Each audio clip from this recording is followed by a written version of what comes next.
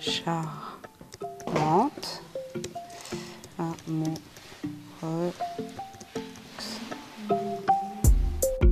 Ce qu'on entend régulièrement par écriture inclusive pour le moment, c'est euh, l'usage du point médian, qui est en fait une forme qui est une parmi d'autres dans toutes les euh, stratégies euh, d'écriture inclusive. Ici, l'idée, c'est de pouvoir aussi aller au-delà du binarisme qui se trouve dans ce point, qui en fait sépare les formes masculines et féminines, en utilisant des formes qui, qui sont plus fluides et qui se rencontrent. Euh, on essaye de représenter un peu le large prisme des genres.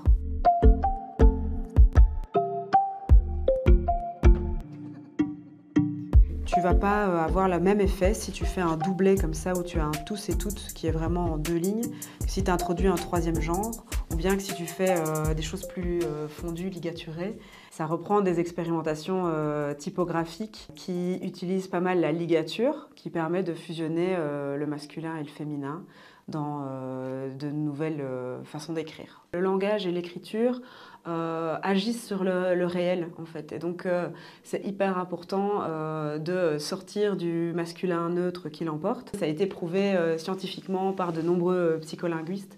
L'exemple typique, ce sont les, offres d'emploi.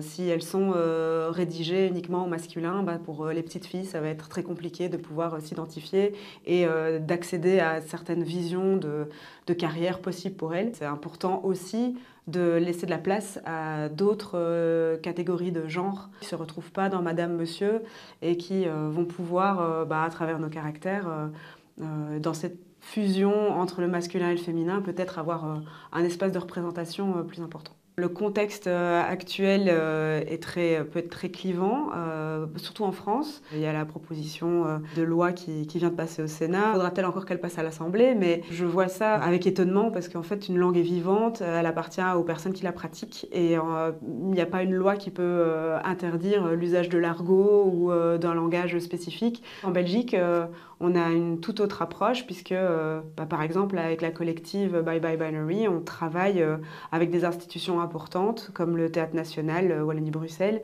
qui a implémenté un de nos caractères pour sa communication vers tous ses publics. Celle-là, c'est une qu'on a fait pour le Varia.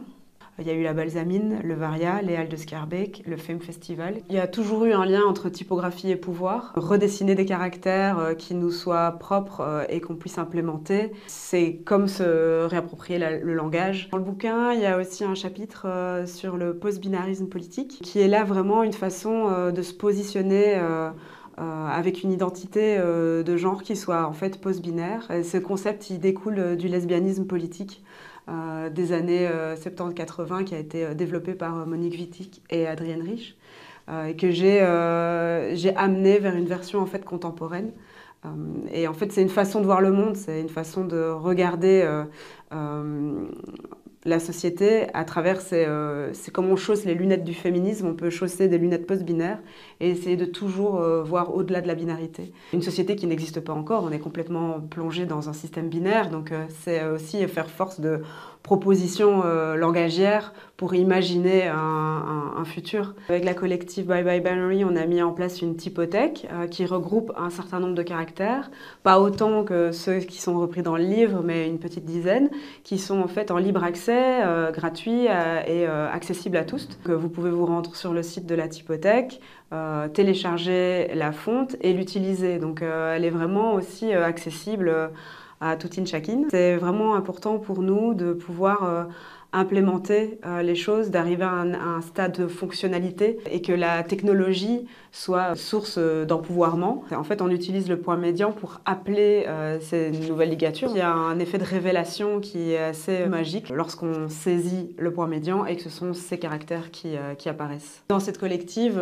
voilà, il y a pas mal de dessinateuristes de caractères, de graphistes, mais aussi d'auteuristes, de, de chercheuses et de performeuses aussi, et même un boulanger.